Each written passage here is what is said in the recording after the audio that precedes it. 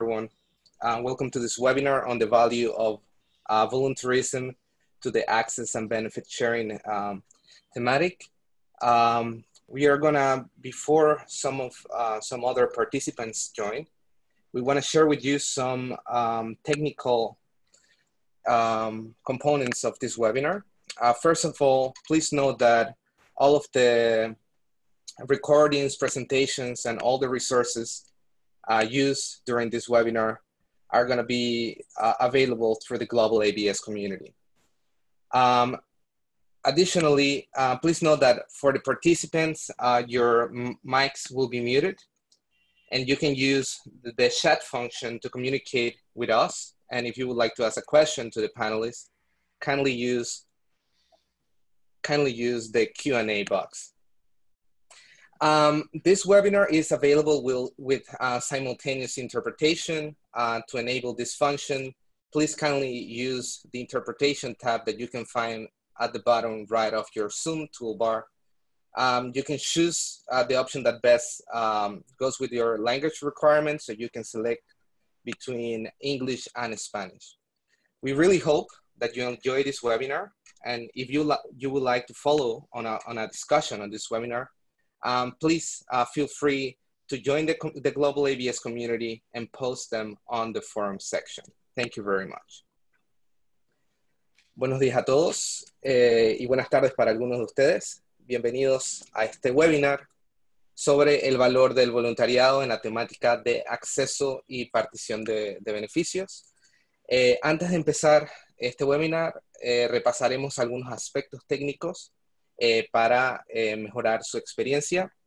Eh, primero que nada, les queremos recordar que las grabaciones, las presentaciones y todos los recursos que estaremos utilizando durante este webinar estarán disponibles a través de la comunidad global sobre ABS, la comunidad de práctica del proyecto. Adicionalmente, favor notar a los participantes que sus micrófonos estarán en mudo durante todo el tiempo de la, del webinar.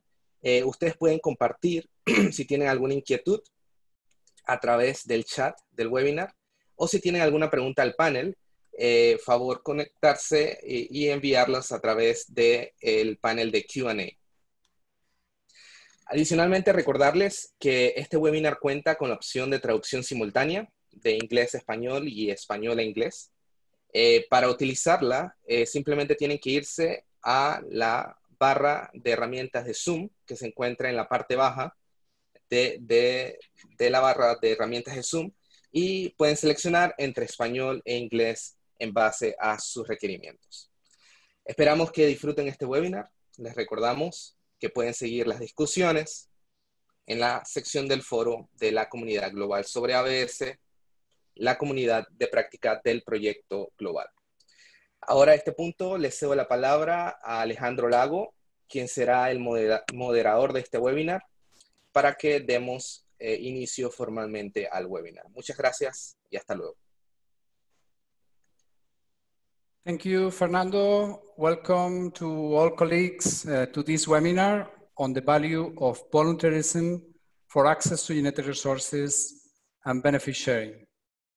A webinar co-organized by the United Nations Development Program and the United Nations Volunteers Program as partners in the implementation of the global ABS project. My name is Alejandro Lago, and I'm the manager of the Global ABS project, and I will be uh, facilitating this webinar. This project is funded by the Global Environment Facility, and its main objective is to promote the full implementation of the Nagoya Protocol in 23 countries, trying to make legal access to genetic resources and the fair and equitable sharing of the benefits the rule at the global level and not the exception. For the opening remarks, we were going to have Mr. Toily Kurbanov, who is uh, UNV Deputy Executive Coordinator who unfortunately, due to another previous commitments, was unable to join us today. However, he has been so kind to send us his opening remarks through a short video.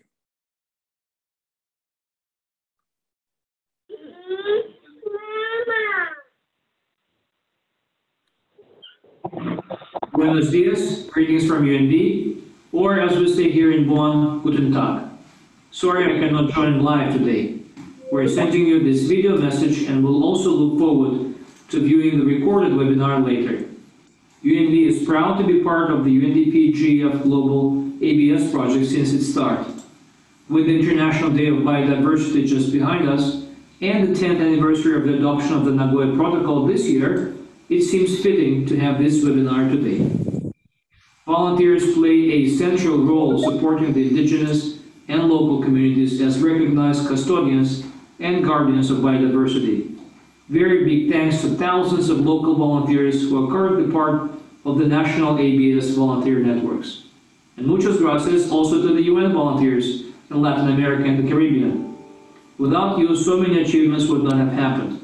Global ABS online community outreach, assessments of national legal frameworks of upon biodiversity, and so many more. Before I end, let me send a virtual handshake to our partners in UNDP and the Global Environment Facility. What we have done already to mainstream voluntarism into the nature, climate, and energy agenda in the region is a good practice that should sprout further global collaboration across the globe. I wish you a fruitful webinar and thank you very much. Thank you very much to Toily and to UNV for your great support during this, the implementation of this uh, project and for your warm uh, welcoming remarks for this webinar. From UNDP, for these opening remarks, we have with us today Ms. Uh, Midori Paxton. Midori has been the UNDP head of Ecosystem and Biodiversity Program based in New York since 2016. She is responsible for a large portfolio of biodiversity projects comprising approximately 300 projects in 130 countries, including projects that support strengthening protected area system, protected area landscape management, community-based natural resource management, human-wildlife conflict management, and wildlife-based local economy. She also co-leads the Lions Share initiative that aims to harness the power of the advertising sector for generating business and public support for wildlife conservation. Previously, she worked as a Bangkok-based regional technical advisor, providing policy and programming support for countries in Asia. Between 2000, between the year 2000 and 2010, she worked in Namibia, much of the time working under the Director, Directorate of Parks and Wildlife Management, Ministry of Environment and Tourism, coordinating the project to strengthen the National Protected Area System. Midori holds a master's degree in Environment and Development from the University of Cambridge, and she is the author of six books and hundreds of uh, published uh, photos and articles. Midori is going to make some remarks about the International Day of Biodiversity and its slogan for this year, our solutions are in nature. Midori, thank you so much for joining us today for this webinar, and you have the floor. Thank you very much, Alejandro. And hello, everyone. It is indeed a pleasure to join this webinar today, uh, focusing on our excellent partnership with the United Nations Volunteers Program, UNV, uh, Alejandro read my short bio, but one thing I didn't include is the fact that I'm a proud uh, alumnus of the UNV program, having served in emergency humanitarian assistance work in Somalia and Tanzania in the 90s. So it is lovely to meet many UNVs today, albeit virtually. So as Alejandro described, UNDP has a large portfolio of ecosystem and biodiversity projects because as a development organization, we recognize biodiversity underpins people's well-being and sustainable development. We know that nature gives us air, water, food, medicine, shelter, and inspiration. And we also know half of the global GDP is dependent on nature. There was a recent uh, World Economic Forum report on this. And also nature provides buffer for extreme weather events and reduces and absorbs uh, greenhouse uh, emissions. And it also, you know, serves as, uh, I say, natural vaccine to reduce the frequency and intensity of future outbreaks of zoonotic pandemics like COVID, which we are all facing now. And when you look at biodiversity more closely, it has many components, ecosystems, habitats, species, genes, and genomes. And today's topic is the Nagoya Protocol on access to genetic resources and benefit sharing. The protocol encourages countries to harness the potential of genes and genomes and biochemical compounds for the development of solutions to improve livelihoods of local communities and society as a whole. And these solutions include food, water, beverages, medicines, and pharmaceutical treatments uh, that contribute to implementation of multiple sustainable development goals.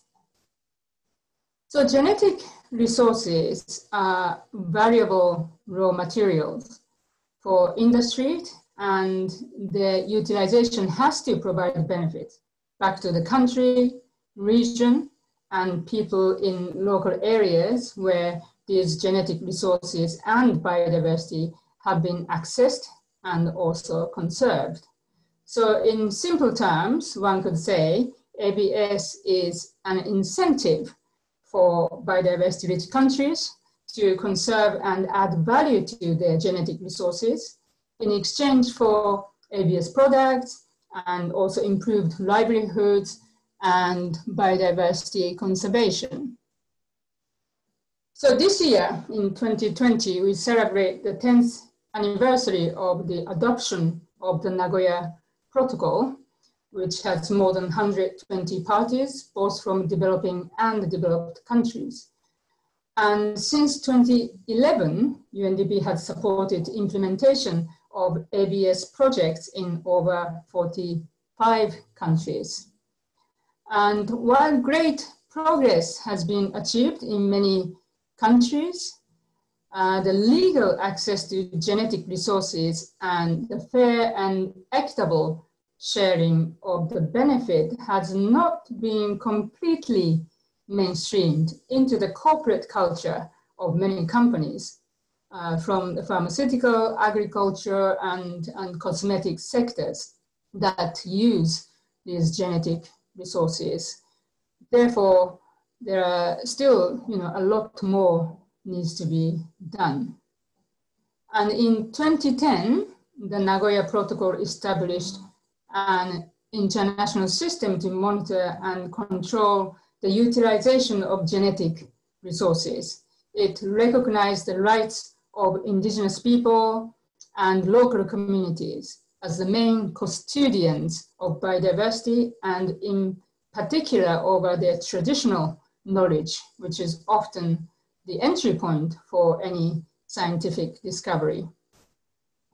And some governments, governance instruments promoted by the protocol, such as the Biocultural Community Protocol, are truly human rights tools as they support communities to articulate and secure their rights and territories. So there are lots of you know, very profound elements in this ABS work. And the Global ABS project, uh, funded by the Global Environment Facility, or GEF, promotes the implementation of Nagoya Protocol in 23 countries around the world.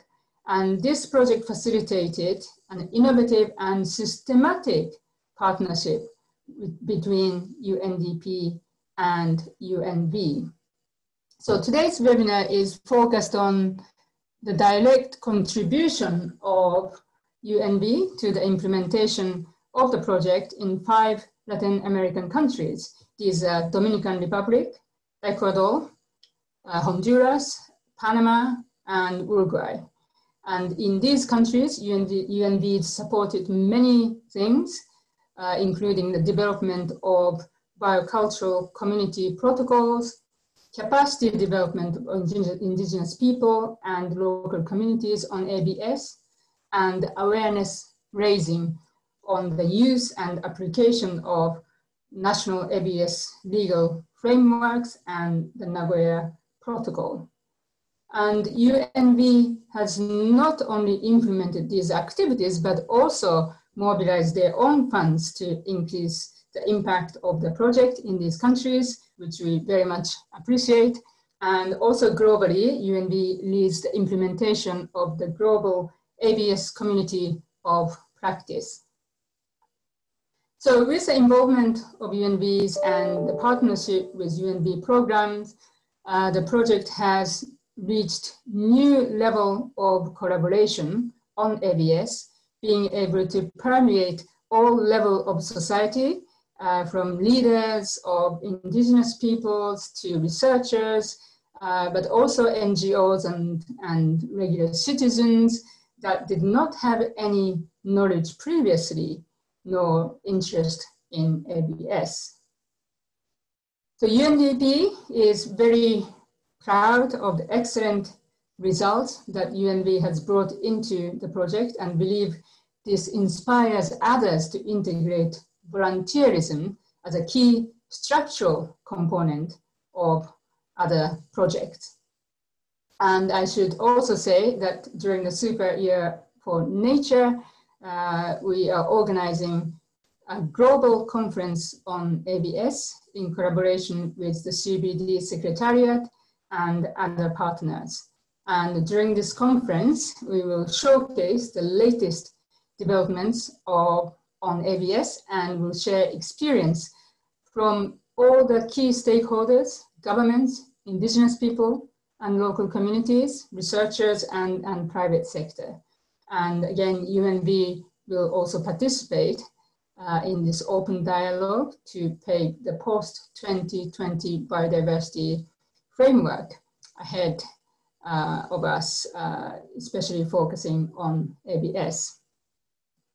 So with this, I thank UNV for this fruitful partnership and hope you enjoy this webinar and experience you hear from the volunteers involved in this project. Thank you very much. Over to you, Alejandro. Thank you so much, Midori, uh, for these uh, welcoming remarks, contextualizing the relevance of, of biodiversity, but also highlighting how lucky we have been in the global ABS project uh, to have the direct support um, and partnership of uh, UNV uh, with fantastic results no, in the implementation of the project in the five countries that you just mentioned and that we are going to uh, share the results with the, the, exposure and also during this uh, webinar. No? Thank you so much. In the next block, we are going to have a couple of presentations to introduce the Global ABS project.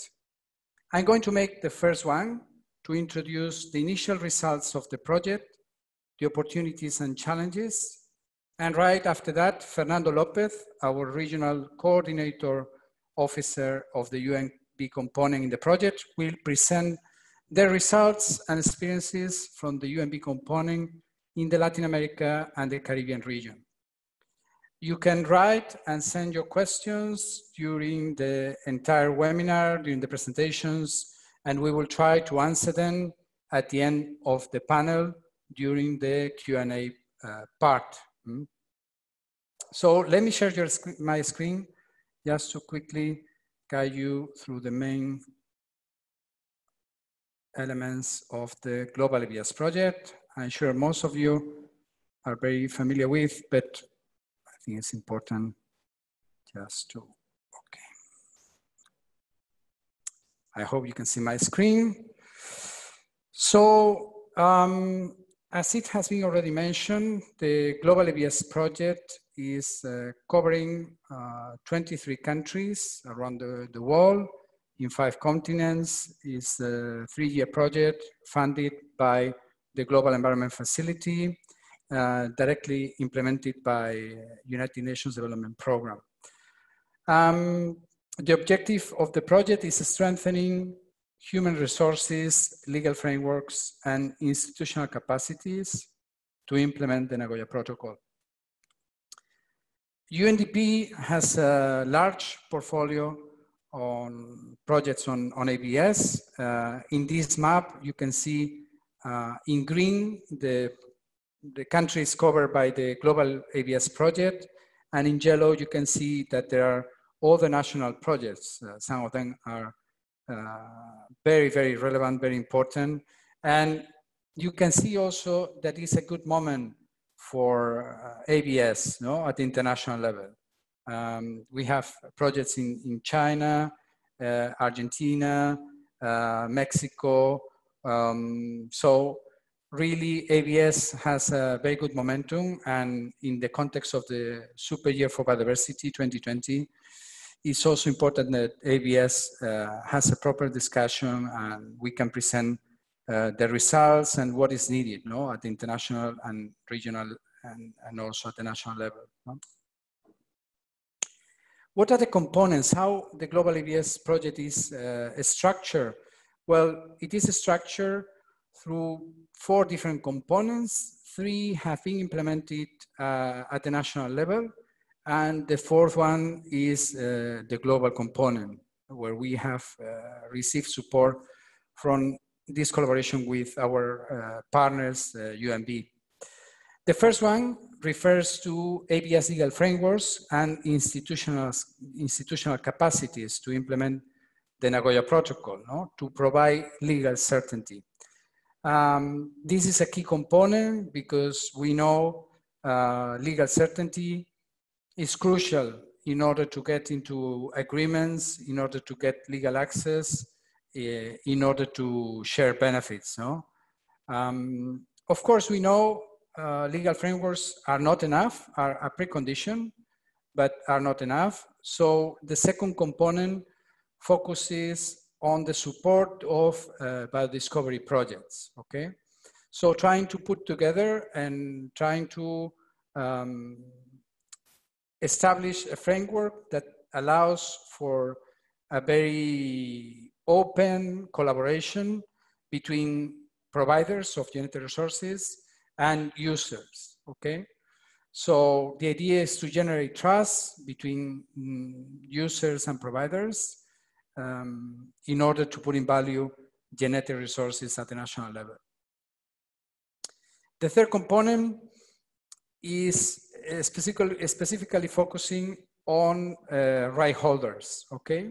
Mm, in the issue, in the topic of access and benefit sharing, indigenous peoples and local communities are not simple stakeholders, they are right holders because we are talking about their genetic resources, we are talking about their uh, associated traditional knowledge, okay?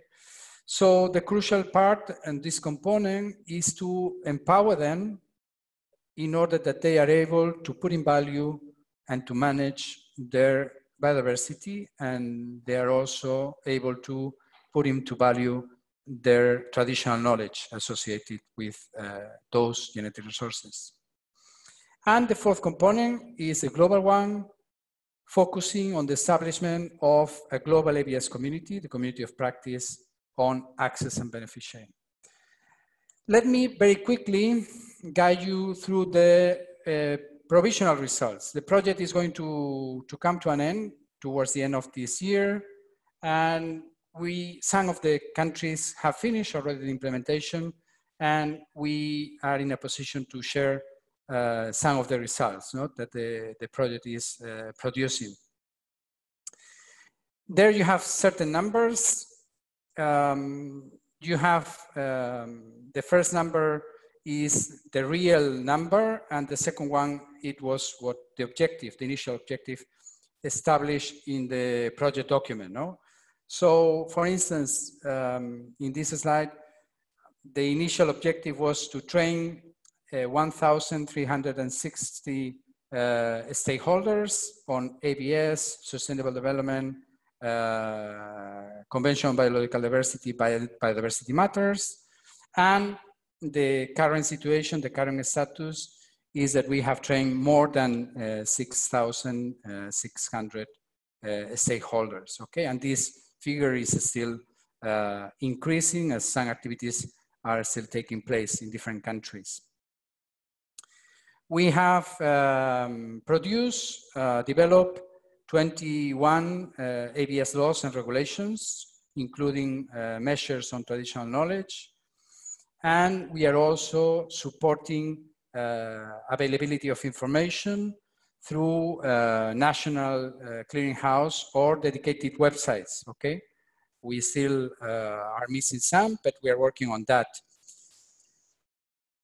The interesting part here or the impact is not to produce draft legislation, but the challenging part is that the legislation is adopted. No?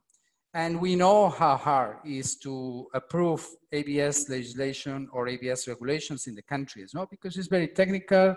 And when you have to move into the parliament or uh, into a government discussion, uh, this is quite, quite difficult. No? So we want to congratulate the five countries that have approved already ABS legal measures. And in particular, we have to congratulate Albania, who has very recently, uh, a month ago, approved an amendment to the, AB, to the Biodiversity Act to introduce a chapter on access and benefit sharing. And even more recently, last Saturday, uh, the parliament in Comoros adopted also uh, legislation on ABS. So congratulations to our colleagues in Albania and Comoros because this is really a great achievement, uh, a landmark achievement for, for ABS in the country.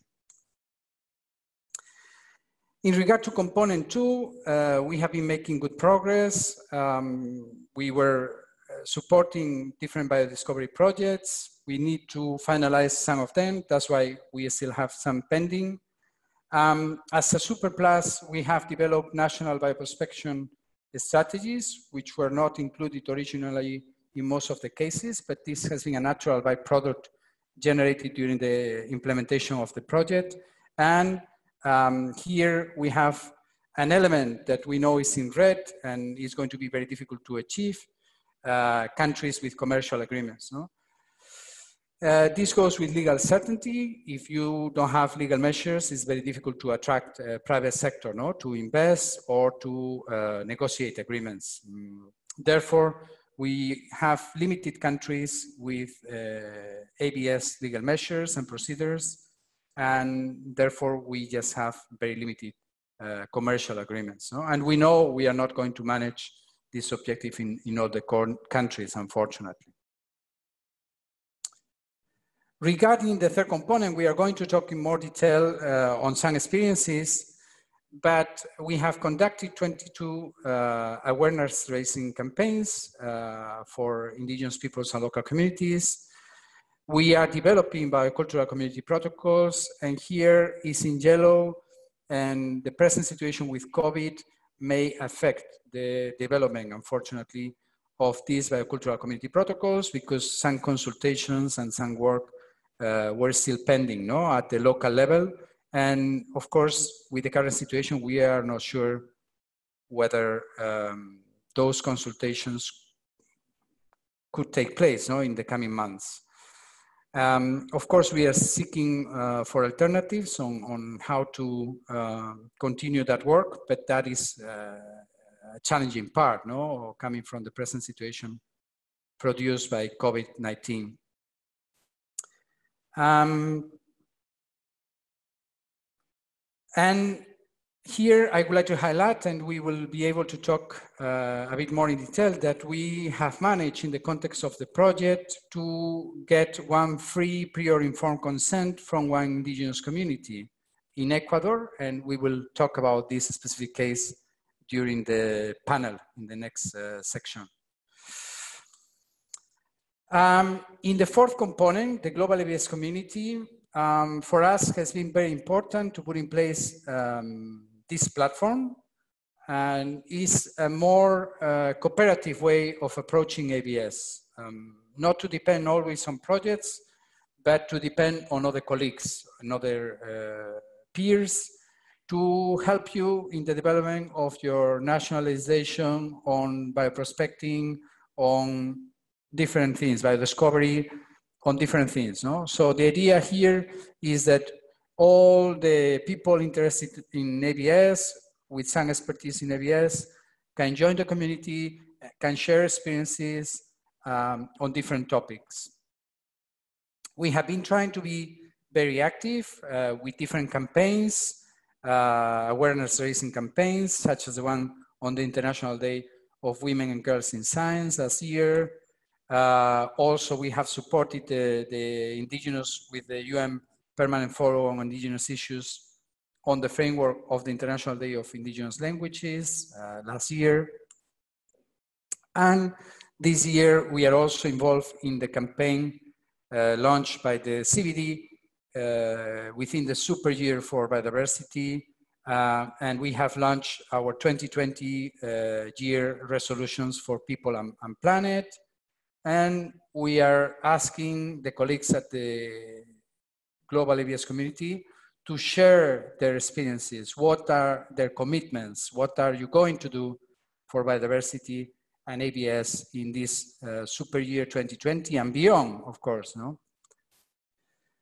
We have provided support to the Secretariat of the Convention on Biological Diversity. We, are, we have provided support to biodiversity and to other projects at the national level, uh, most of them uh, GEF-funded projects uh, implemented by UNEP or UNDP, uh, also strengthening this global approach no, to ABS. And several, uh, more than 33 uh, technical assistances at the regional and the global level.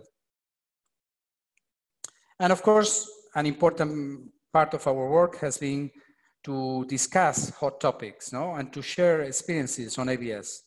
And we try to do this regularly, once a month. We organize one webinar, trying to not to get into entangled into the international discussions on different things, but to approach in an objective way and pragmatic way, no? trying to um, provide uh, solutions at the national level. So we have been discussing blockchain, gender into ABS, uh, biotrade, uh, digital sequence information, biocultural community protocols, uh, private sector experience on ABS, and mm, in February we had a, a wonderful webinar on the IT tool to monitor ABS in India that has been developed by the National Biodiversity Authority uh, with the support of our colleagues from the uh, GIZ and the German government.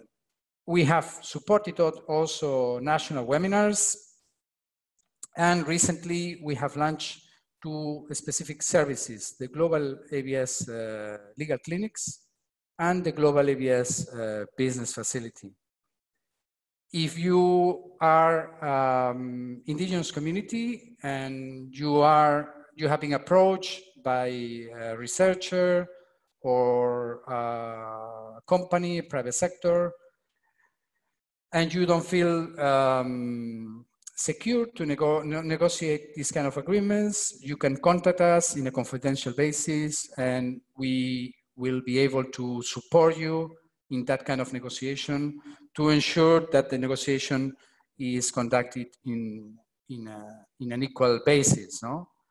And in the Global ABS Business Facility, we receive uh, requests from researchers or from private sector that wants to uh, identify reliable partners no, in a third country to access uh, genetic resources or to access um, and, and conduct research uh, in certain country. No? So we try to make a match uh, between the, the providers that we work with and the potential users that are or could be interested in uh, working uh, or starting to work in a third country. With all of this, what we are trying to do is to construct this purchase circle on ABS where all the stakeholders are involved. They know what their, the role they have to play. And at the end, we have legal access with the involvement of all the stakeholders, and we ensure that uh, also benefit sharing is uh, conducted and, and shared in a normal basis back to the provider countries and the local communities.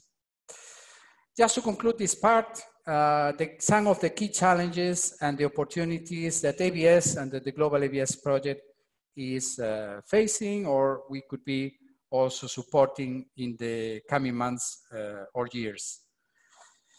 First is the flexibility of the Nagoya Protocol, which is a very good thing, but we can see that more standardization is needed. No? Well, we need standardized procedures that are easy to use uh, from the perspective of the users in particular, no, and the private sector. So we need to push into that.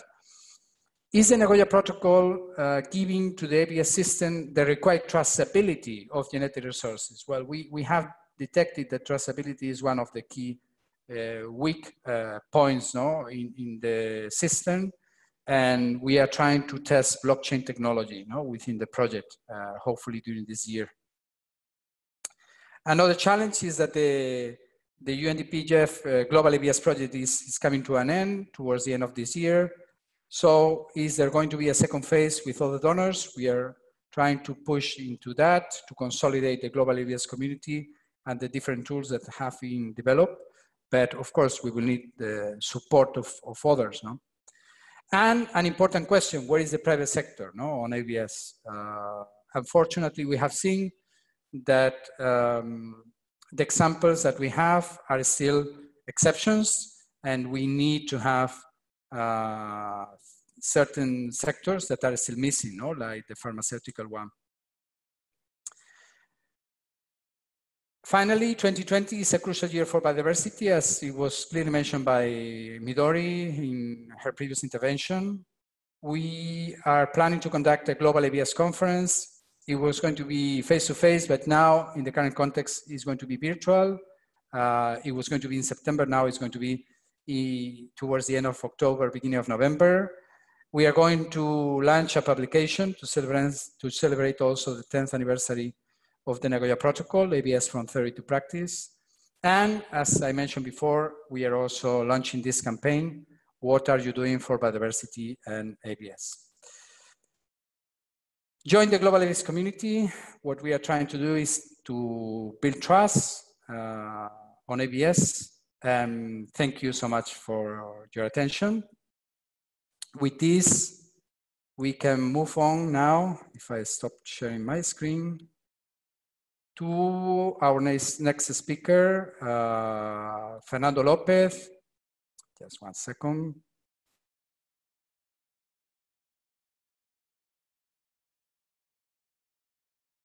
Yes. So next presentation is Fernando Lopez, our regional coordinator officer of the UNV component in the project, will present the results and experiences from the UNV component in the Latin America and the Caribbean region. Fernando, you have the floor. Thank you very much, Alejandro, uh, for the presentation, uh, to all the panelists and all the attendees and all the volunteers, the UN volunteers that participated um, in the implementation of the UNV component. I trust you can see my screen, right? So I would like just to, to highlight some of the key uh, results, um, experiences, and good practices um, that are, arose out of the implementation of, of the UNV component. I think what is really interesting today is uh, the volunteer panel that we are going to host at the end where we can really hear um, from um, stars on ABS and stars on volunteering um, what has been the work that the UNV component has done in, in the region. So uh, the United Nations Volunteers component um, that supports the UNDP GEF Global ABS project um, has mobilized a total of 13 UN volunteers in five countries in Latin America and the Caribbean, those countries being Honduras, Panama, Ecuador, Dominican Republic, and Uruguay, through different um, UNV modalities like um, international international UNV specialists, national UNV specialists, and um, UNV youth uh, volunteers. And additionally, um, the, the UNV component has supported uh, the mobilization of two other uh, persons uh, that worked under service contract agreements that also supported the implementation of the project in the region. Um, also like, like the UN, uh, UNDP GEF Global ABS project, the UNV component supports the implementation of the four main components of the Global ABS project. And the first component deals with the support given by UN volunteers uh, to five ministries of environment um, in Latin American region, where uh, UN volunteers uh, supported uh, data collection, and knowledge, experience, and best practices uh, management on ABS, and also experience exchange, um, just as a way to improve the transparency and reporting also to each of the countries' uh, CHM mechanisms. An important activity uh, that had both the financial and the human support from UNVs in the region was uh, the design and implementation of knowledge, attitudes, and practices surveys. Um, these surveys uh, provided policymakers and national ABS focal points and with the necessary information on the current state of, um, of knowledge on national ABS legal frameworks and also the Nagoya Protocol. Um, in total, there were four, 495 KAP assessments implemented um, in Panama, Dominican Republic, Ecuador, and also 72 online KAP assessments applied um, in Uruguay.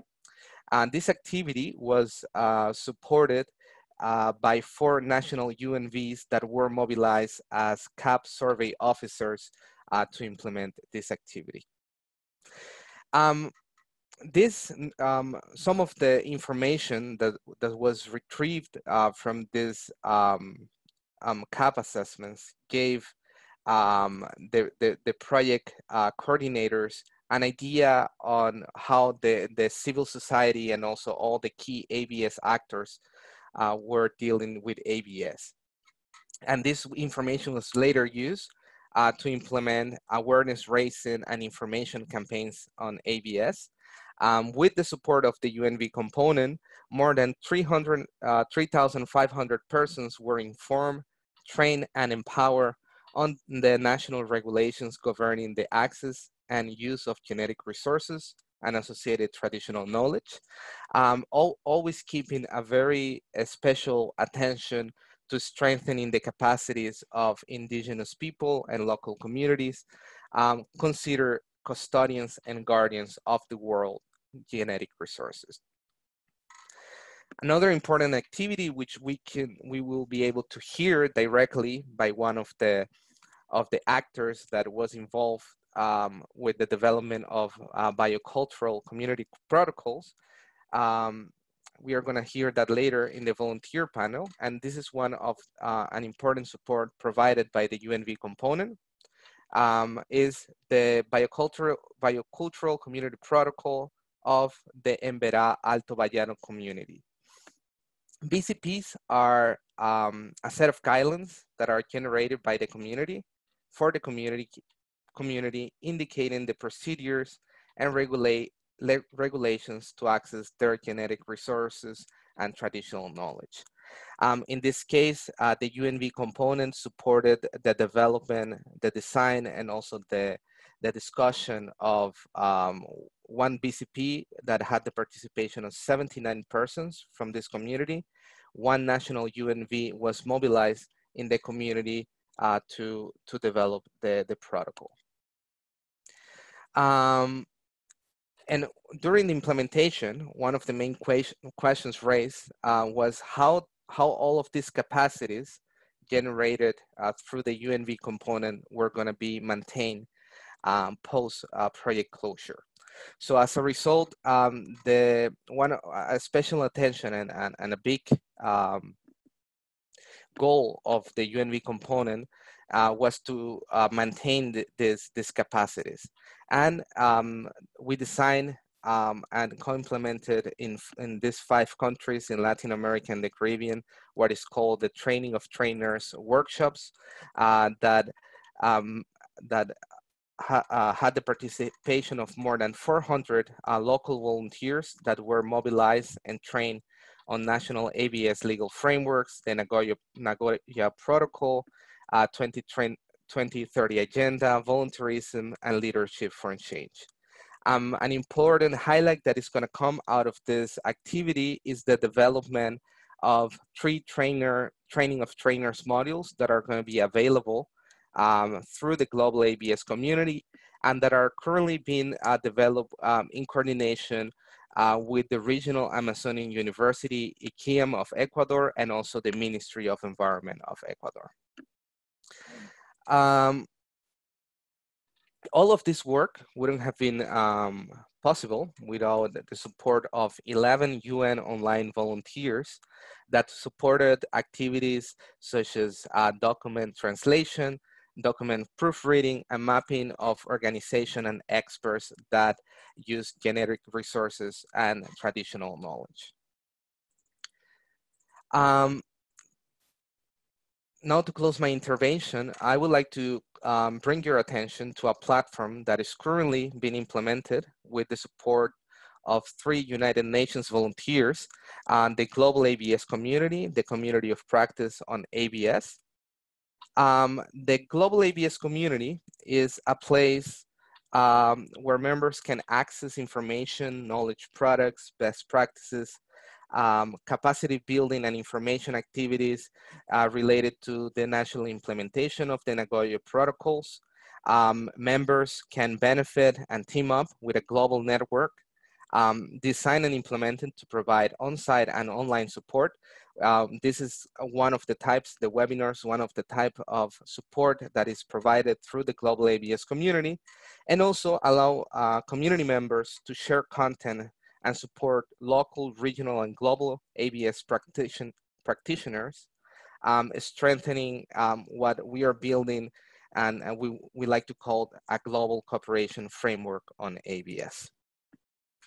So without, um, I'm passing the word to the other colleagues, I would like to thank you for, for your attention. If you have any questions um, or suggestions and would like to get support from the global ABS community, here's the link and here's my email. Please feel free to reach out.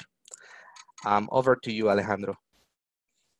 Thank you so much, Fernando, for your presentation and congratulations to you for leading all these efforts and all our UNVs into these uh, remarkable achievements. Now let's move on to our real protagonists, our volunteers on the ground. And let me switch into Spanish to conduct the panel session of this webinar. Entrando ya en el panel del webinar de hoy, tenemos con nosotros a Sara Omi, presidenta del Consejo General en Verá de Alto Bayano, de Panamá. Sara es eh, abogada de formación y también tenemos a Sumac eh, Bastidas, quien es quichua, originaria de Cacha, del pueblo Purúa de la provincia de Chimborazo, es ingeniera en turismo y áreas naturales con estudios de maestría en desarrollo local y territorio de la Facultad Latinoamericana de Ciencias Sociales. Tiene eh, varios años de experiencia en políticas públicas de interculturalidad y participación y fue coordinadora nacional del componente de voluntarios ONU para el proyecto ABS en Ecuador y actualmente nos congratula mucho que continúa vinculado al proyecto a través del Ministerio de Medio Ambiente. En la invitación al webinar eh, teníamos a Manuel Hernández, también de Honduras, ¿verdad? Eh, quien finalmente no ha podido acompañarnos en el webinar de hoy por otros compromisos a nivel nacional le mandamos un saludo a él, a los compañeros del proyecto Honduras y a todos sus familiares y también expresamos nuestra preocupación por la pérdida de biodiversidad y la violencia que sufren los pueblos indígenas en Honduras en la situación actual de COVID-19.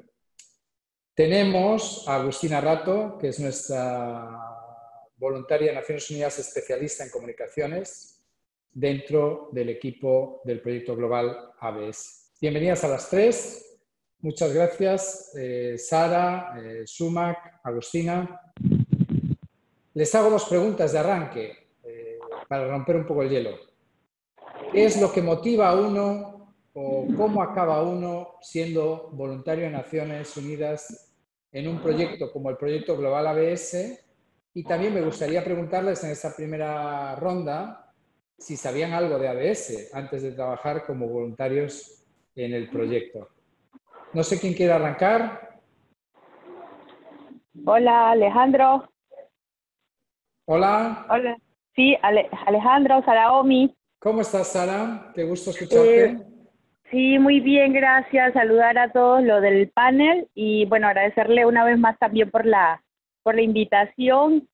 Y bueno, como siempre quiero iniciar ya que estoy en la comunidad y está lloviendo poco y pronto también he estado como entrando y saliendo por, eh, por la llamada.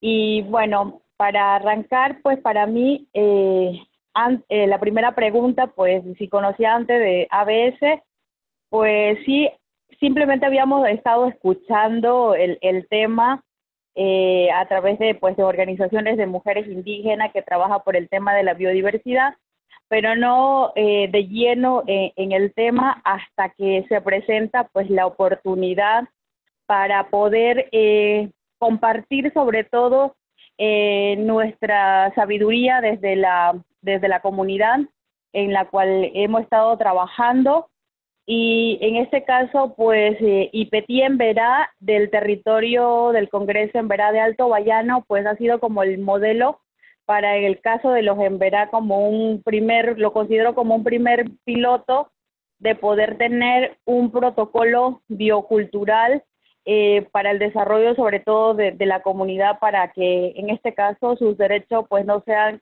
vulnerado, ya que eh, la comunidad eh, aún, eh, por ejemplo, se mantiene bajo el sistema oral y no cuenta con, no contaba con una herramienta como el protocolo biocultural de manera escrita que permita, pues, tener como esa guía que se necesita para para poder seguir manteniendo esa, como decir, eso, esos estudios, esa forma de, de, trabajo que deben llevar, en este caso, las instituciones o las personas interesadas que desean colaborar con, con el territorio, pero sin saltarse o sin vulnerar, pues, los derechos, sobre todo al principio de la, de la consulta, el consentimiento libre, previo, informado. Entonces, para nosotros, eh, en el caso mío, en lo personal, eh, también eh, permite ah, llegar acá, es a través también de las exigencias de nuestra de nuestra participación también directa como, como pueblos indígenas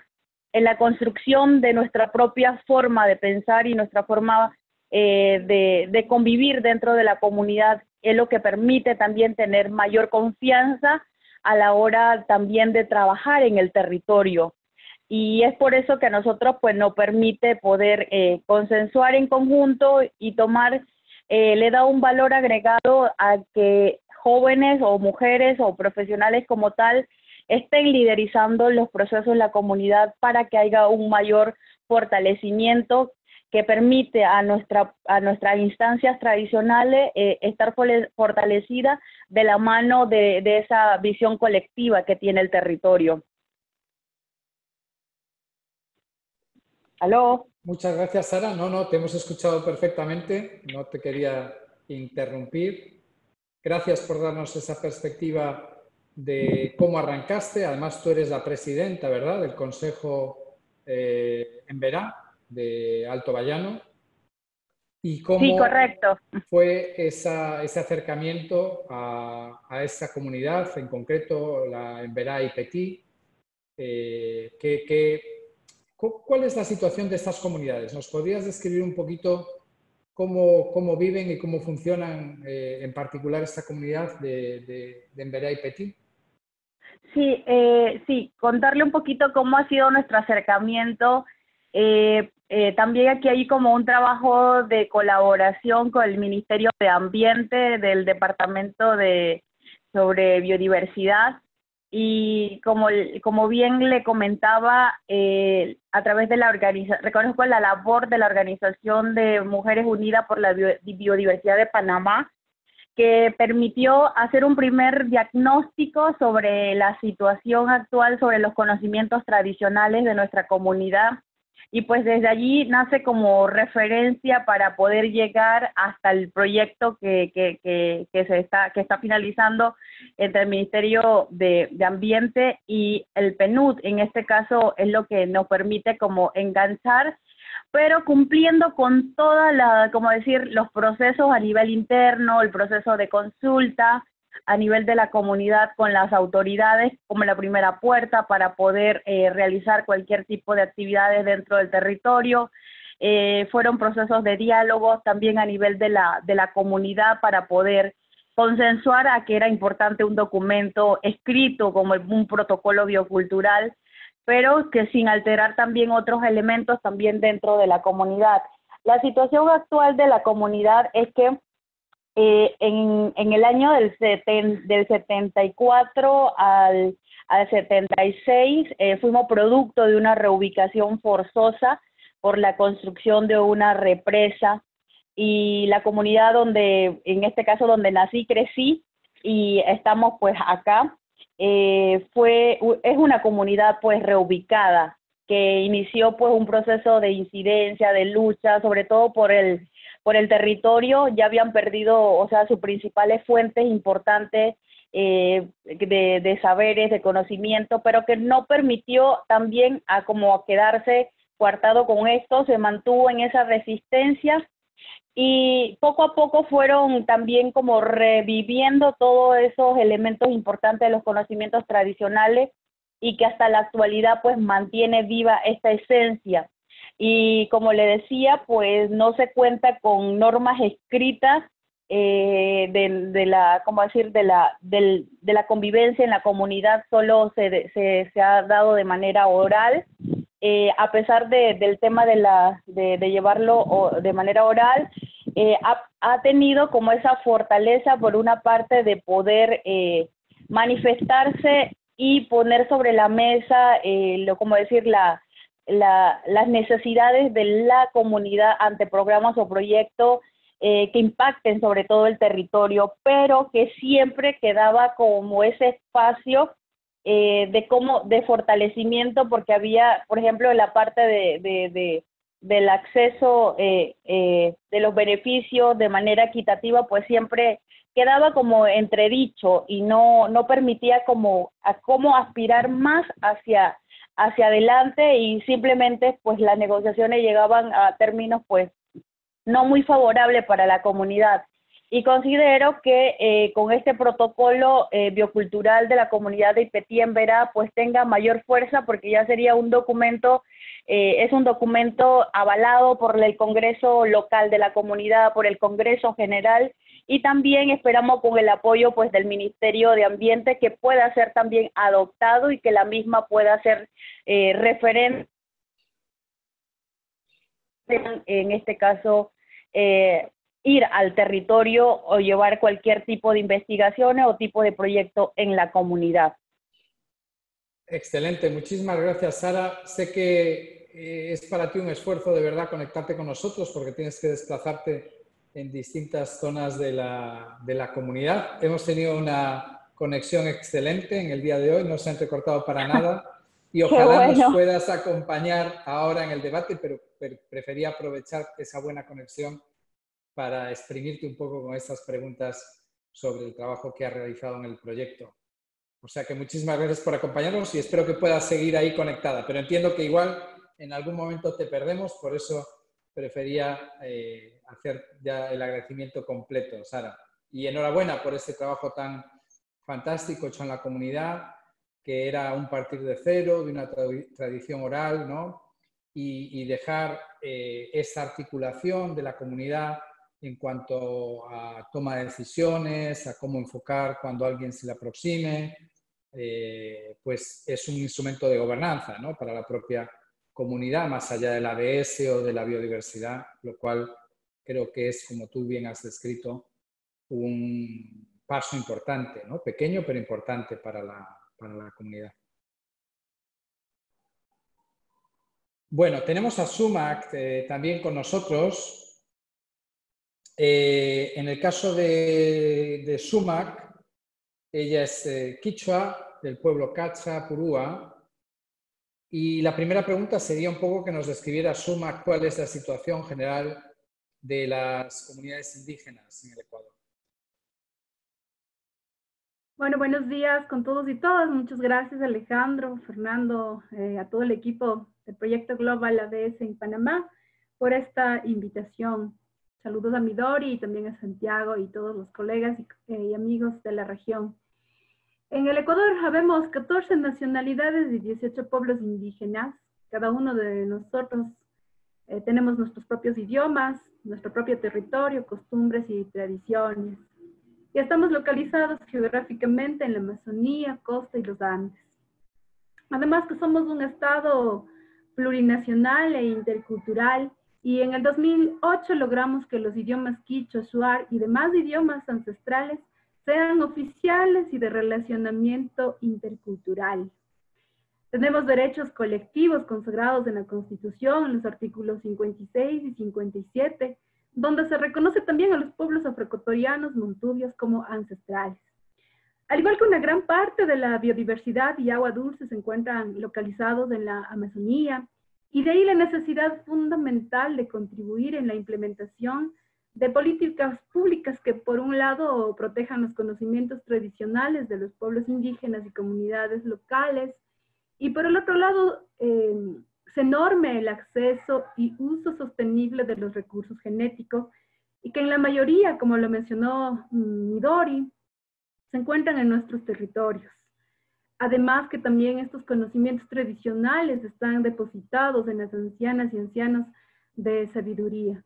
Por tal motivo consideramos que el protocolo de Nagoya en el Ecuador es un instrumento también que se suma y contribuye a la defensa de los derechos colectivos de los pueblos indígenas, nacionalidades eh, y sobre todo también de comunidades locales para el acceso justo y la distribución equitativa de beneficios cuando un tercero quiera acceder a recursos genéticos asociados o no a conocimientos tradicionales.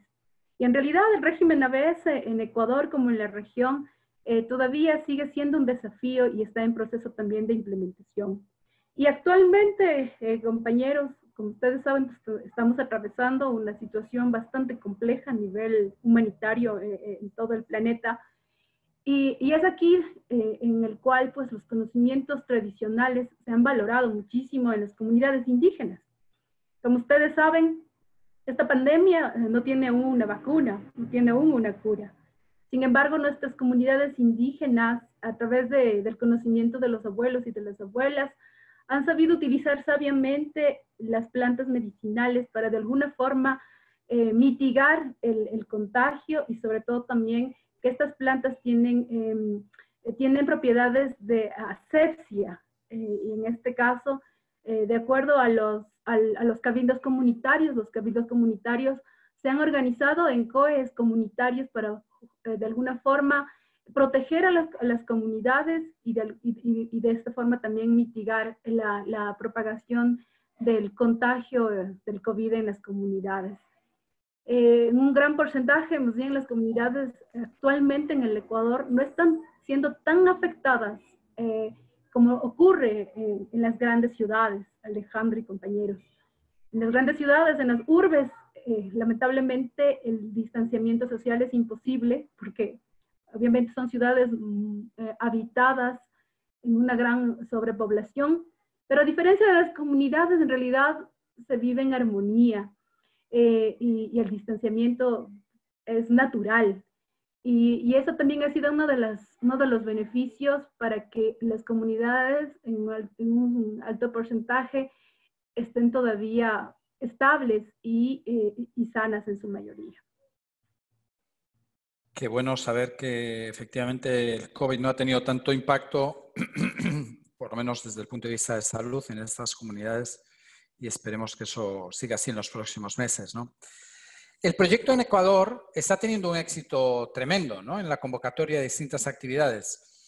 Antes de la pandemia, eh, yo personalmente pensaba que era porque teníais eh, muy buen catering, eh, pero la semana pasada organizaron la Semana de la Biodiversidad y nos dejaron pequeña la licencia de Zoom, con más de 1.200 personas registradas, y era un evento online, obviamente, y, y, más de 600 participantes en todas las sesiones, ¿no? algo realmente sobresaliente. Bueno, dejando aparte mis bromas, el proyecto ha formado en materia de objetivos de desarrollo sostenible, biodiversidad y ABS a más de 1.800 personas en distintas comunidades indígenas. ¿Cuáles crees que han sido los elementos de éxito, ¿no? de ese éxito de convocatoria y el importante impacto que el proyecto eh, ha tenido en las comunidades? Bueno, me alegro, Alejandro, que reconozcas el catering. Eso significa que valoras la diversidad gastronómica que tiene mi país. Bueno, en realidad la semana anterior ha sido consecuencia de una sólida articulación interinstitucional que el proyecto PARC ABS ha logrado construir con el apoyo del MAE, CENESID, CENADI y NAVIO, y el resultado también de la experiencia y profesionalismo de una de mis colegas del proyecto, en realidad este, Alejandro Paola Guijarro, quien logró articular a las y los comunicadores de las instituciones socias de otros proyectos del PNUD para lograr el éxito rotundo eh, y claro, también el apoyo por parte de ustedes, ¿no? Desde Panamá y sobre todo también desde el componente de voluntarios ONU, a la cabeza con Fernanda, Agustina y Mari Carmen, que hicieron posible la semana anterior una, eh, una semana de éxito y de gran participación en el marco de la celebración de, la biodiversidad. Y, y, obviamente fueron conversaciones bastante profundas, análisis y reflexiones que nos invitan a, seguir repensando de post cuarentena a, a, la humanidad y cambiar nuestro modo de vida. Esta misma solidez, eh, Alejandro y compañeros, esta solidez de confianza también se ha visto reflejado para la implementación del componente UNB en Ecuador a través del proyecto ABS. Y esta coordinación y articulación interinstitucional con el MAE, CENESID y CENADI han sido importantes y claves. Y sobre todo también por la capacidad instalada de estas instituciones, es que a través de mi, de mi aporte como coordinadora de, de, del componente de voluntarios ONU desde el año 2017, 18 y 19, eh, llegamos a las comunidades indígenas, afroecuatorianas y montubias en 13 provincias. Eh, de esta forma, lograr intervenir directamente en las comunidades, Alejandro, eh, llegando al territorio.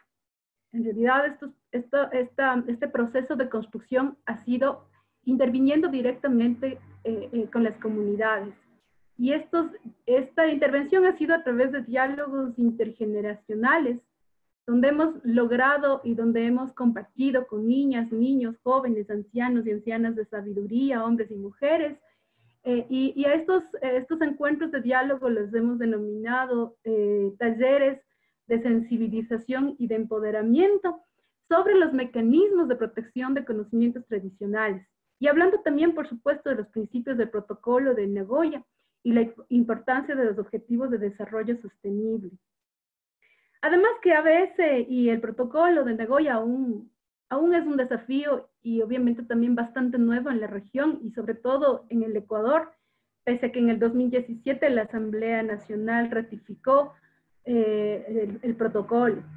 Por ello considero que los hacedores de las políticas públicas, que en este caso son CENESID, CENADI y MAE, deben continuar involucrándose directamente con las comunidades y de esa forma también conocer sus realidades, la situación e implementar de forma conjunta mecanismos comunitarios, articulando con los cabildos comunitarios de cada una de estas comunidades para la protección, uso y aprovechamiento sostenible de la biodiversidad. Esta cercanía con el territorio nos ha permitido que durante estos dos años, eh, desde, desde, el componente de voluntarios ONU, logremos de alguna manera eh, sensibilizar y empoderar eh, en esta construcción del régimen ABS. Y que también esta construcción o este, o este diálogo intercultural debe seguirse afianzando, fortaleciéndose y sobre todo también que se fortalezca la confianza, que únicamente se logra sintiéndonos como parte de las comunidades y es así como lo han hecho las instituciones socias del proyecto y también el, el, mismo proyecto ABS, Alejandro y compañeras y compañeros. Muchísimas gracias, eh, Sumac, y enhorabuena por el enorme trabajo realizado y el tremendo éxito, aunque como tú muy bien has contextualizado, todo está por hacer, ¿no? Todavía, ¿no? A pesar de que el proyecto haya empujado y haya conseguido tener eh, esa llegada tan buena al territorio, eh, quedan muchas cosas y el trabajo debe ser continuo, ¿no? Debe continuar ahí. Una última pregunta para ti, Sumac. También, además de tener este impacto tan maravilloso y único en el contexto del proyecto, con, una llegada y una formación a nivel comunidades indígenas eh, muy alta, como, como ponías de manifiesto, también tenemos un caso único en el contexto del proyecto, que es el consentimiento libre, previo informado, de una comunidad eh, para el acceso a sus recursos genéticos y conocimientos adicionales, que creo que es la de Comunidad de San José de Payamino.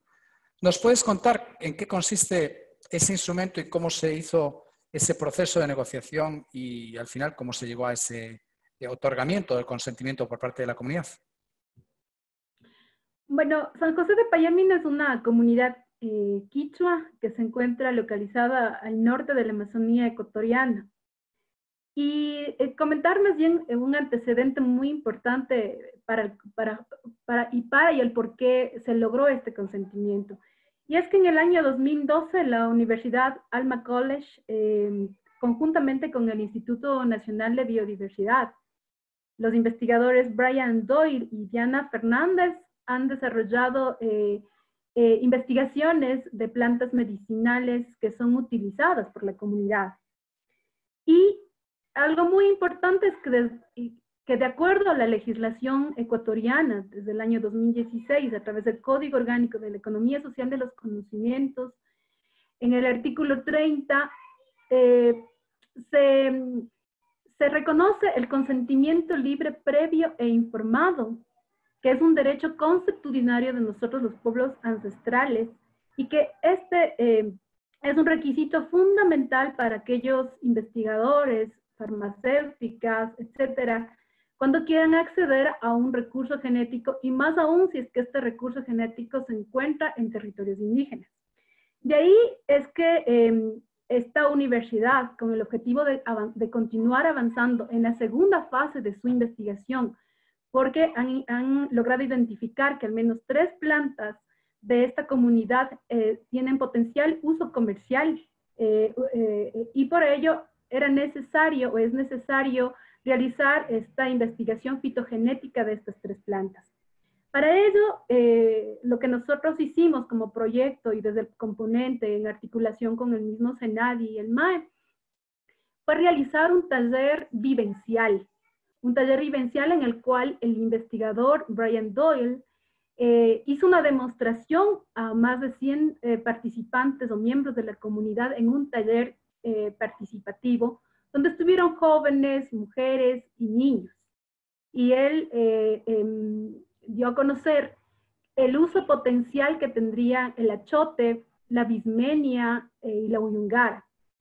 Y en este taller fue lindo porque las mujeres y los hombres participaron y, elaboraron incluso ese, misma, ese mismo día con el achote, eh, eh, las mujeres elaboraron un lápiz labial, con la bismenia también y realizaron un, un pinta uñas y con el uyungara un jabón. Esto es una, fue una práctica muy transparente por parte del investigador. El investigador manifestó que, que utilizando de forma sostenible la biodiversidad y sobre todo las mismas plantas que tiene la comunidad, esto en un tiempo determinado pues contribuiría a mejorar la calidad de vida de, la comunidad de San José de Payamino. Y asimismo en este taller, compañeros y compañeras, lo que hicimos con Senadi, el mismo INAVIO y nosotros, es también darles a conocer eh, eh, los principios que tiene el protocolo de Nagoya, los mecanismos que actualmente en el Ecuador existen para proteger los conocimientos tradicionales. Y al finalizar este taller participativo o vivencial, el cabildo comunitario a través de una asamblea tomaron la decisión de otorgar eh, el permiso de la comunidad, no solamente del cabildo, sino de la comunidad, de los miembros, que son como más de 160 personas, en otorgar el permiso para que la universidad y conjuntamente el, el, INAVIO avancen en la segunda fase de investigación. Esto incluso recuerdo muy bien que se realizó a modo de, a de conclusión en una acta, en un acta que ellos escribieron eh, en un cuaderno de notas que todas las asambleas ellos realizan.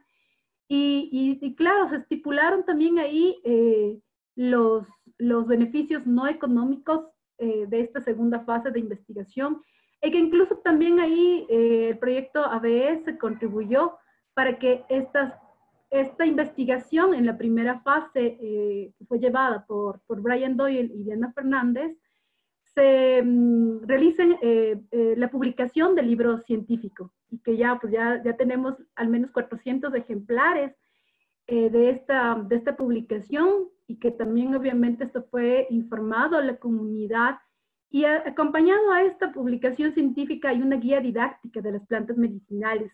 Esta guía tiene el objetivo también de que pueda contribuir para la educación en la comunidad, para que los más pequeños, ¿no? conozcan el valor de las plantas medicinales que tiene San José de Payamino. Eh, incluso estamos próximos eh, a realizar el lanzamiento virtual, Alejandro y compañeras y compañeros, que también les estaremos invitando. El 10 de junio se va a realizar el lanzamiento virtual de las publicaciones, en el cual tendremos la oportunidad de escuchar al presidente de la comunidad. Esperemos que más bien la conectividad sea muy buena, porque también Payamino está, eh, es muy lejano y la conexión con, con el Internet no es, no es eh, tan buena, ¿no? Eh, también escucharemos a Brian y a Diana para que nos cuenten cómo ha ido este, fortaleciéndose la confianza, la confianza en la transparencia por parte de los investigadores. Y sobre todo también la importancia y el rol que ha tenido la comunidad, porque la comunidad no es solamente la informante, la comunidad en esta publicación científica es coautora, así que es como la primera comunidad coautora en, el Ecuador, de acuerdo a conversaciones previas que hemos tenido ya con Diana. Es la primera comunidad que es, que es también autora de una publicación científica. Eh, sí, más bien esta, esta experiencia es muy interesante y muy importante, porque también considero que quienes, quienes quieran acompañar técnicamente, ya sean instituciones públicas u ONGs, em, a, realizar este proceso, acompañar, como dije, porque en realidad el, consentimiento libre, previo informado es un derecho constitucionario propio de una comunidad, que te pueden decir eh, que te dan y te autorizan, como también pueden no autorizarte. Este es un derecho propio de ellas. Y, como, como, como es un derecho propio de ellas, hay que también respetar los, la, organización comunitaria. Y algo que sí hemos enfatizado, y, no solamente en Payamino, sino también en las otras comunidades, porque han sido 23 talleres a nivel nacional, es que la decisión no la toma el cabildo comunitario, porque en el Ecuador el, el cabildo comunitario solamente tiene un año de duración. Por lo tanto, la decisión tiene que ser de manera conjunta con todos los miembros de la comunidad para salvaguardar justamente las decisiones comunitarias. Y en esa medida, recuerdo también que en el taller, eh, afortunadamente soy privilegiada de hablar el quichua, ellos hablan también quichua amazónico y andino, pero de alguna manera nos entendemos y nos comprendemos, y tuve la oportunidad también de conversar con ellos eh, para socializarles, ¿no? Eh, de, cuál, de cuán importante es el aporte de las comunidades indígenas para el desarrollo de la ciencia y sobre todo también cuán importante son los conocimientos tradicionales de los abuelos y de las abuelas y que esto tiene que permanecer en las comunidades y en las nuevas generaciones, Alejandro. Excelente. Enhorabuena, Sumac, un trabajo fantástico y aún encima nos hemos llevado una primicia, ¿no? De que en un par de semanas tenemos la posibilidad de participar en ese lanzamiento virtual de las publicaciones de San José de Payamino y como bien decías tú, con la peculiaridad de que son coautores ellos, ¿no? la comunidad de esas publicaciones. Fantástico trabajo, enhorabuena, gracias por tu liderazgo y por haber llevado, eh, empujado el proyecto a, unos niveles increíbles a nivel comunitario, trabajando con, con, todas las personas de todas las edades, de todos los tipos y llevando a la ABS y todas estas temáticas a otro nivel, ¿no? Sí, bueno, más bien también ha sido un trabajo en equipo, como tú sabes, Alejandro. En el Ecuador, el ABS, el pequeño proyecto, pues está conformado por Pablo, que es el coordinador nacional del proyecto, Patricia Pachacama, que también ha sido un, pilar fundamental en todo el tema financiero y también obviamente contribuyendo para que los recursos puedan obviamente eh, ser implementados y desarrollados a nivel en el territorio, ¿no? Sabes toda la estructura que tiene PNUD, pero afortunadamente la, experiencia de ella y también de Paola y actualmente Paul han contribuido eh, también para que el, componente de voluntarios no pueda lograr eh, obtener también resultados. Ha sido resultados de manera conjunta, más allá de, de, un tema más personal. No, no, no, no, no. No me olvido de los colegas en, en Ecuador y del equipazo que, que, tenéis allí. Y creo que antes lo has puesto muy bien en contexto, en el sentido de que el impacto tan, tan grande y tan positivo que ha tenido el proyecto es una labor importante de esa buena coordinación interinstitucional, de equipos de personas y de un trabajo muy continuado. ¿no? Y eso se, se, deja ver. Y afortunadamente eso también le va a dar continuidad al proyecto. No, no, no. no. Nuestros saludos también a todos los colegas del, del proyecto en, en Ecuador. Agustina, para concluir, tú eres la especialista de comunicaciones. Eh, sé que vamos un poco mal de tiempo. Eh, no sé si nos puedes contar qué ha aportado el voluntariado a la comunicación de la temática de ABS en la región y también he visto en el chat que nos están preguntando qué tiene que hacer uno para convertirse en voluntario eh, de Naciones Unidas. No sé si podemos darles algún tipo de información. Sí, por supuesto, Alejandro. Bueno, Em, mm, el tema eh, acceso a recursos eh, genéticos y participación de los beneficios, eh, como saben, es un tema muy mm, técnico y complejo que implica múltiples actores de la sociedad civil, estados, sector privado, y esa multiplicidad de, de, audiencias representa un desafío adicional ¿no? para la comunicación.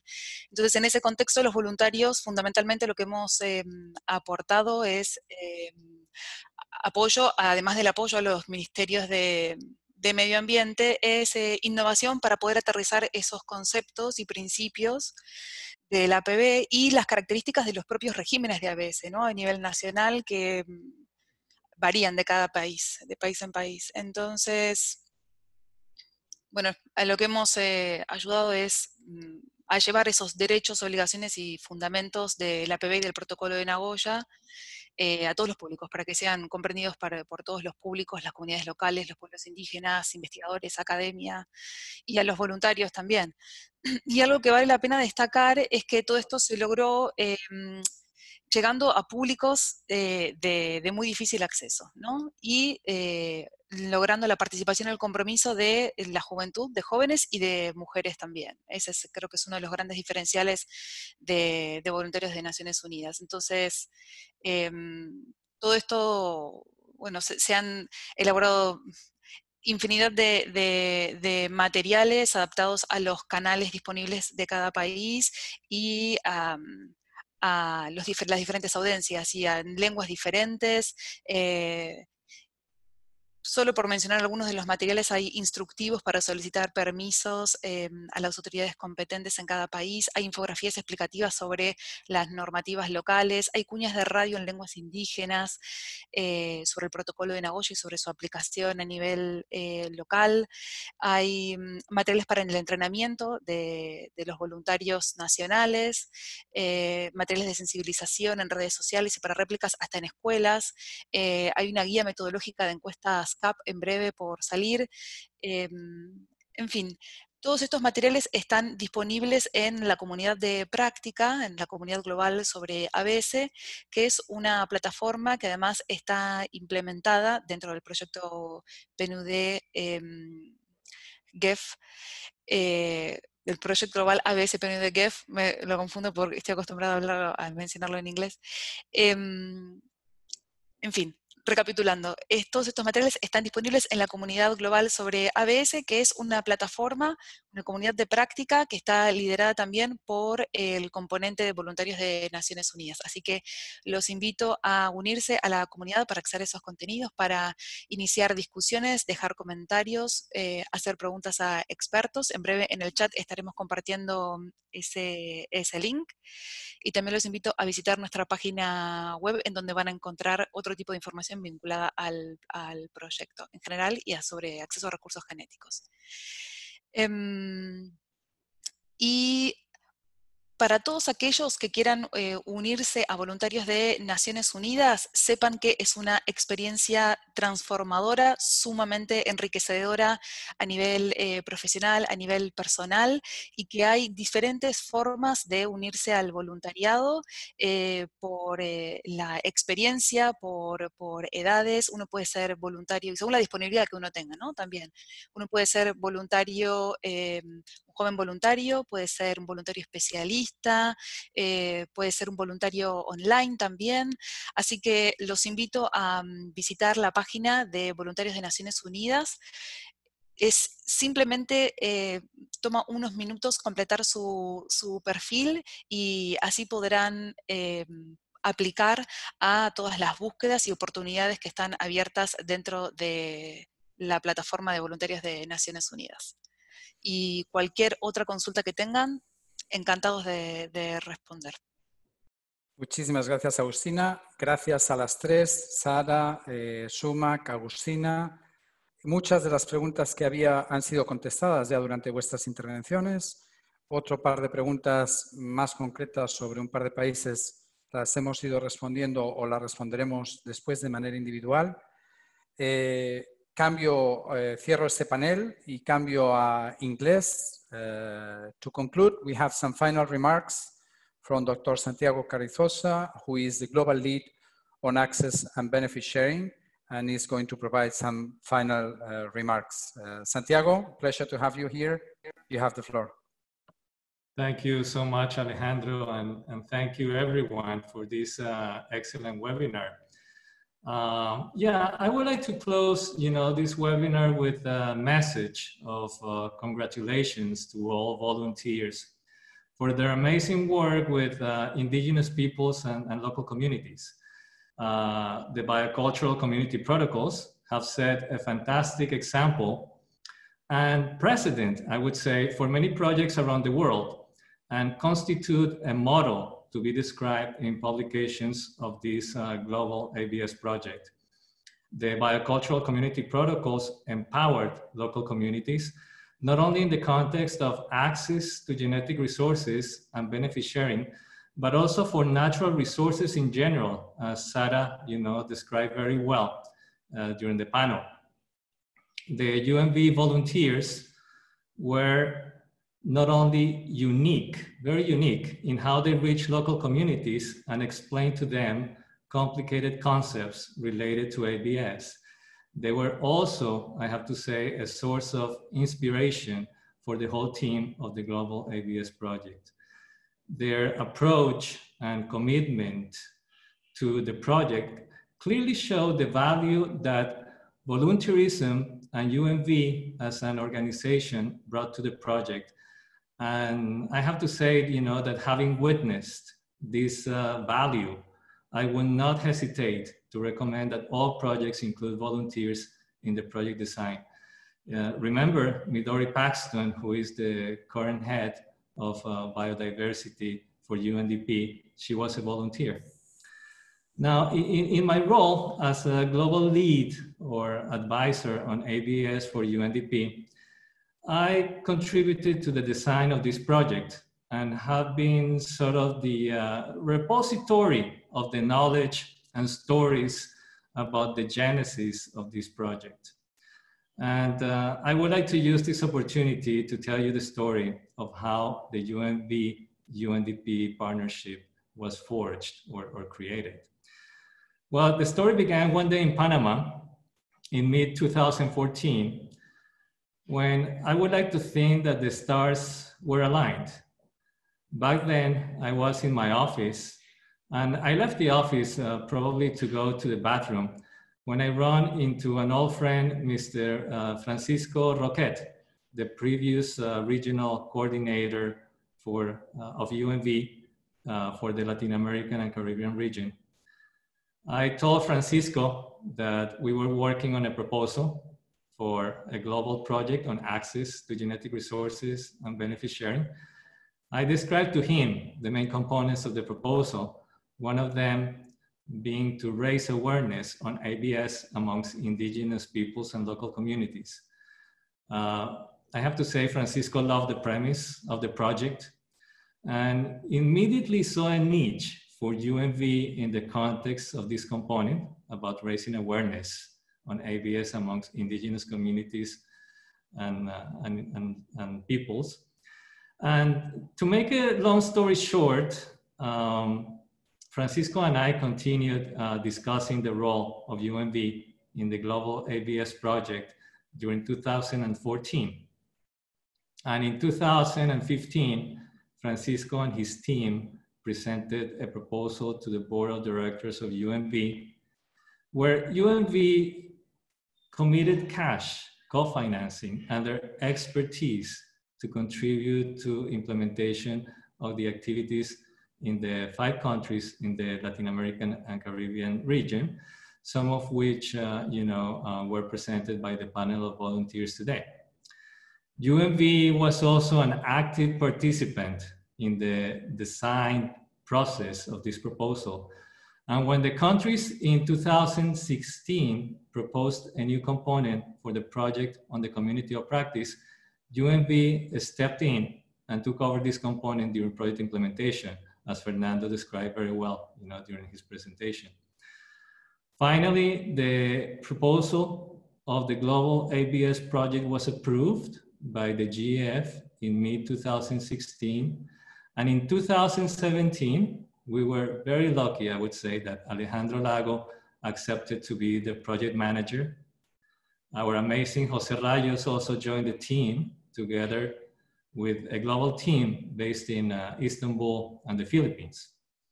And here in the Latin American and Caribbean region, Alejandro Iberico, Agustina Rato, Fernando Lopez, and Mari Carmen Hernandez joined the dream team as well. And they brought the magic of volunteerism to the project.